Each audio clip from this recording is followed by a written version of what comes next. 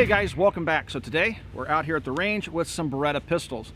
This is my M9A3, which is the latest evolution of the M9 series of handguns. The US military is currently using M9s and the Marine Corps is using M9A1s. This handgun was developed as a handgun to replace the M9 and the M9A1, but the US military instead opted to open military trials for a new service pistol. I don't even think this handgun's in the trials, I don't know. But anyway, this is the latest evolution of the M9 pistol, and it has all the refinements. This is a very smooth shooting handgun, but the reason we're out here today is to talk about the M9A3. It's just to take a look at the latest evolution of the Model 92, but it's to take a look at an earlier generation handgun that's currently available from Classic Firearms. So let's do a little bit of shooting first with the M9A3, then let's take a look at what I have in my left-hand coat pocket here. All right, here we go. Got a challenge steel target downrange there.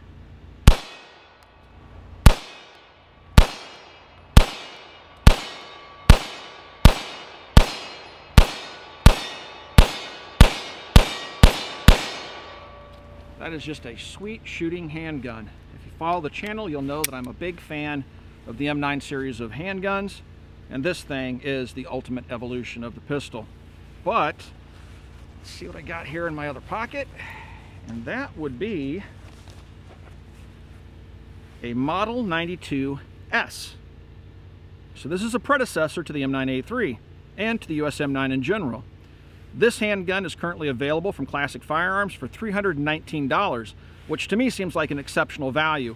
This is a police trade-in. The rumor is that these are Italian police handguns. Uh, they have been back to Beretta and been certified that they're AK, uh, AOK, good to go.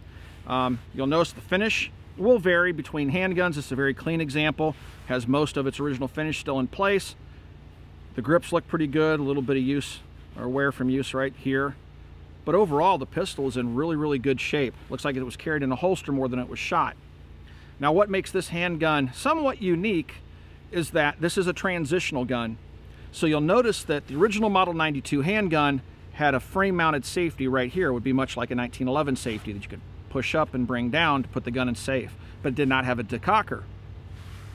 Police and militaries that were looking at this handgun said, hey Beretta, can you put a slide mounted decocker safety on the gun? And that's how this all started. You'll notice that this handgun still has the heel release for the magazine back here. So that's where the early 92s started off with a European style heel release. All right, so it doesn't even have the thumb release up here where the M9 does. So the first thing they did was deleted the safety here on the frame and put this decocker up here. This gun would later evolve into the Model 92F and then the Model 92 FS, which ultimately became the USM9 service pistol.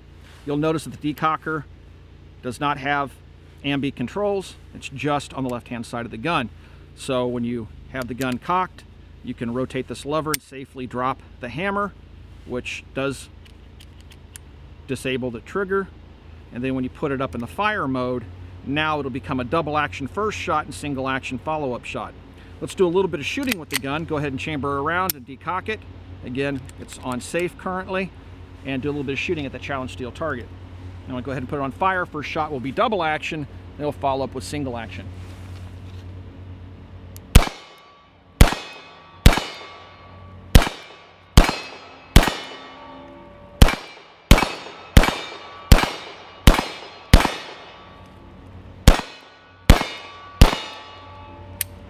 Ah. Now what happened is the gun didn't lock open. It's using old surplus magazines and the springs just kind of weak in them. So sometimes it'll lock open like that, sometimes it won't. But everything else on the guns work just fine. You may actually get one with a magazine that works. Now the differences between this magazine and the current generation is that this one has a hole cut right here for locking. You'll notice there are no holes cut up here for a modern thumb release. The good news is, is that Beretta on the Model 92 magazines for the FS and the and not the M9, but just the standard Beretta Model 92 magazines, which are still available, they still make this cut in the magazine. So you can buy new magazines for it, and we'll show you that here in a few minutes. All right, guys, let's take a closer look at this classic Beretta Beauty and do a little bit more shooting with it this afternoon. So we're back at the bridge over troubled water, which is just a little shy of 50 yards away from our challenge steel target down range. I'm gonna take my old magazine, the original one that ships with the gun, and do a little shooting at 50 yards. with these rather rudimentary, very sparse sights.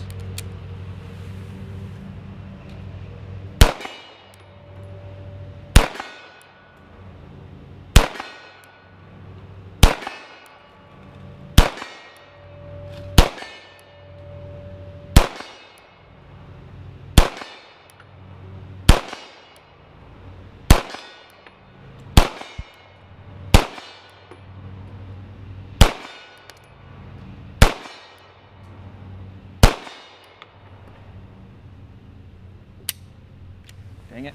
All right, so it didn't lock open again, but we can remedy that. So I'm gonna drop the empty magazine out, lock it open, make sure it's clear just for safety purposes. And now this is a brand new magazine, which I picked up at my local gun store, Bly Sports Shop in Valparaiso, Indiana, this morning for about 35 bucks or something like that. It has the heel cut, so it locks in just fine. Now I have that little bumper on the bottom. But the gun should function just fine. This is the uh, first time we fired it with this magazine this afternoon.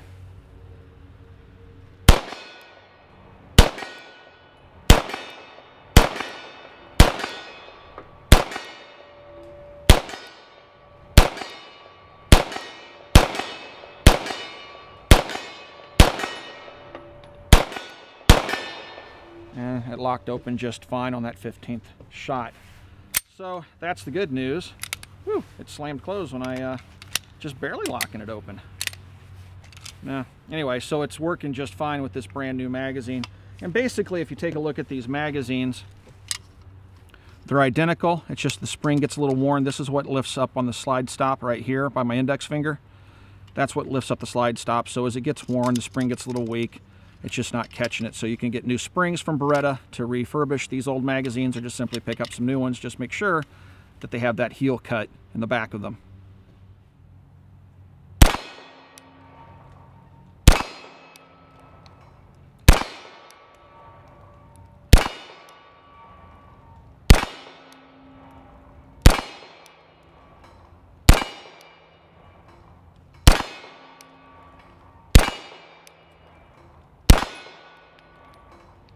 That heel release takes a little bit of getting used to, but it's kind of cool because I know that the old military classics use that type of magazine release. Now anybody can shoot 50 yards with two hands.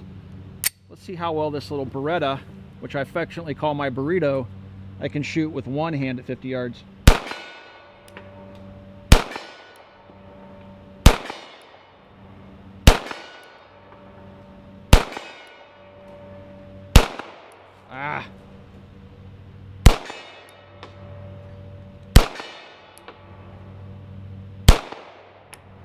Misses.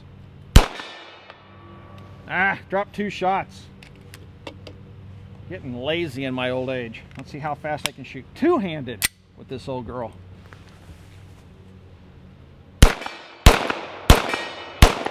Yeah, I have to slow down.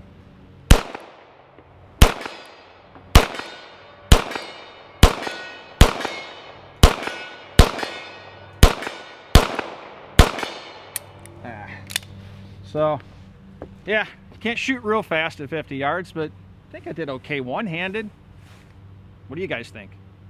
We found some of these disgusting little mushrooms out here on this log. So what I noticed when I sat my gun down for some pictures is when you push on these things, they poof. Watch this. You'll watch a little plume of smoke come out here.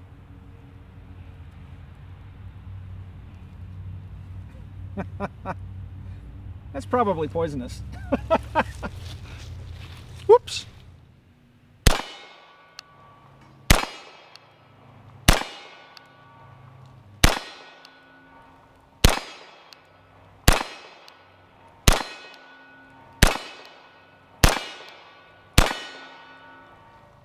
Let's break down the Model 92S and take a look inside of the gun and see how it looks as compared to the M9A3. So first you're going to drop the magazine out with the heel release. Make sure that the weapon's clear. And just like any other Beretta 92 series has the open top so you can see easily into the chamber. Go ahead and let that go home. Now with my index finger, I'm going to reach up here and push this little plunger, which is under spring tension. I'm going to push that in with my index finger. And on this side, I'm going to rotate the takedown lever and the two pieces just pop apart. Looks like a standard Model 92 lower to me. All right, gonna set that aside, invert the slide, take the recoil spring and guide rod out. This is an aluminum or metal guide rod. And then push forward on this little button right here. That'll push the locking piece up, release the barrel, and pull out to the rear. Now you can also take the locking piece out if you want to, just simply by moving it out, pulling that little tab back and sliding it out. All right, so how does that compare to the M9A3? Well, it's pretty much the same darn thing. Go ahead and drop the magazine out. You'll notice that the M9A3 lacks the cut here, but if I grab a current generation Beretta Model 92 magazine, which I picked up at the local gun shop this morning, you can tell it's different from the original magazine because it has a modern base plate on it, but you'll notice it also has the cut down here as well as the cut up here. So you can still buy magazines for these Berettas, all right? They're readily available. All right, break it down. I'm gonna lock it to the rear, look inside, make sure it's empty, let it go home, finger on the button, push, rotate the takedown lever, and the two halves come apart. And you'll notice this looks just like the Model 92S. Now these guns are the same but different. This one has a polymer guide rod versus a metal one, but it still uses the same locking mechanism. As a matter of fact, what I'm going to do now is go ahead and put my Model 92S's barrel and locking piece back together here really quick. I'm going to drop it into the M9A3 slide. And look at that. I bet I could probably even get away, maybe, because this does have a little detent here on the rear. Let's just go ahead and use the M9A3's recoil spring. Put it on there, put it together. And look at that, guys. So these guns haven't changed a whole lot. That's actually pretty cool. All right, let's go ahead and put it back together the way it should be. So let's just set the M9A3 out of the way here. And to put my M9, or I'm sorry, my F92S, all these model numbers run around in my head, back together, I just put the barrel inside, let it slide back, let that dropping block hit its recess, take the spring and guide rod, put it in, push it forward until it sets on that little shelf. Sorry about the sunlight, guys. And then just slide the two halves together. Pull it to the rear, and as I pull it to the rear, I'm gonna flip up on this takedown lever, so I'm just gonna slide it to the rear, and now the gun's back together and ready to go. All right, I'm gonna see if I can do a little bit better than Tim this time. There's 10 rounds loaded in this magazine here. Give it a shot one-handed at 50 yards.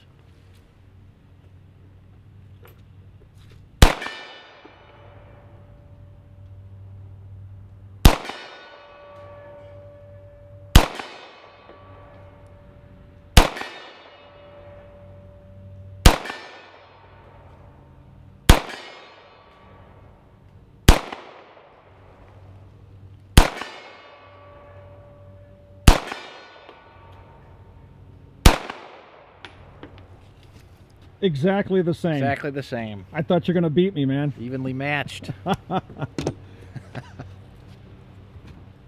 well, guys, it's time to tie things up and head home for the evening or the afternoon. But um, anyway, I hope you enjoyed coming out to the range and checking out my Model 92S, which again I picked up from Classic Firearms for $319. In my opinion, it's worth every penny. This is a simply beautiful gun. I think that, um, you know, it's a piece of history for 300 bucks, guys. And the nice thing is, is that it has parts commonality with the current generation of Model 92s, so you should be able to get spare parts for them should you need them from Beretta USA. Again, money well spent in my book. If you guys have any questions about anything that you've seen in this video, you can ask those questions down below. We try to stick around for the first couple of days after videos go live to answer the questions you guys may have. Also, please swing by and check out Copper Custom. If you want to support the Military Arms Channel, it's the best possible way. Again, that's Copper Custom. And if you haven't already, please check out full30.com. That's full30.com. Taking all the web's best firearms content creators and brought them under one roof. And again, that is full30.com. Thanks for watching, everybody, and we will talk to you guys soon.